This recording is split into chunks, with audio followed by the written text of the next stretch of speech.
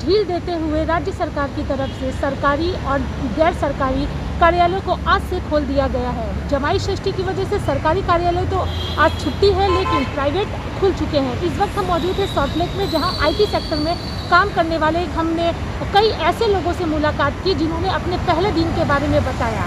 हम आपको यहाँ ये बताते चले कि सरकार की तरफ़ से कार्यालय तो खोल दिए गए हैं, लेकिन ट्रांसपोर्टेशन की व्यवस्था पर अभी भी पूरी तरह से पाबंदी लगी हुई है। इसलिए लोगों को घर से ऑफ़िस आने में खासा दिक्कतों का सामना करना पड़ रहा है। जो लोग काफ़ी दूर रहते हैं, उन्हें तो ऑफ़िस की तरफ़ से वर्क फ्रॉम होम के लिए बोल दिया गया है, लेकिन कुछ ऐसे भी हैं जिनके लिए कंपनी की तरफ़ से गाड़ी की व्यवस्था की गई है। इन्हीं में से कुछ लोग आईटी या दूसरे सेक्टर के हैं जिन्हें अपने ही ट्रांसपोर्टेशन व्यवस्था करके ऑफ़िस तक आना पड़ रहा है। इसमें उनके पैसे भी खर्चे हो रहे हैं और समय भी जा रहा है। आप यहाँ अपने दीदी को लेने आए हैं? हाँ दीदी को तो लेने आए हैं, लेकिन आने सुबह के लेके आते अभी जा रहा है छोड़ने के लिए घर में। जाने का कोई ज़्यादा तो व्यवस्था नहीं रहा, लेकिन ऐसा है, खोल दिया तो कंपनी सारा का सारा कंपनी खोल दिया ऑफ़िस खोल दिया।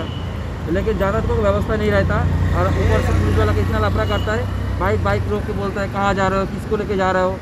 और नहीं बोल तो सके तो फाइन भी भर भर देता है। कैसे गवर्नमेंट चल भगवान जाने। ट्रांसपोर्ट सब खोल दिया, लेकिन जाने को, आने जाने की व्यवस्था नहीं रहा।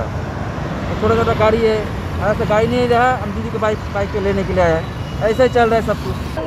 इधर है आपको तो पता ही है पूरा गाड़ी कुछ नहीं चल रहा है कुछ भी नहीं चल रहा है। पुलिस का दिक्कत है। ऊपर से पुलिस का दिक्कत है हम लोग बैंक वाले हैं तो मतलब बहुत ही दिक्कत हो रहा है। इतना दिक्कत है मतलब पूछना लायक नहीं है वैसा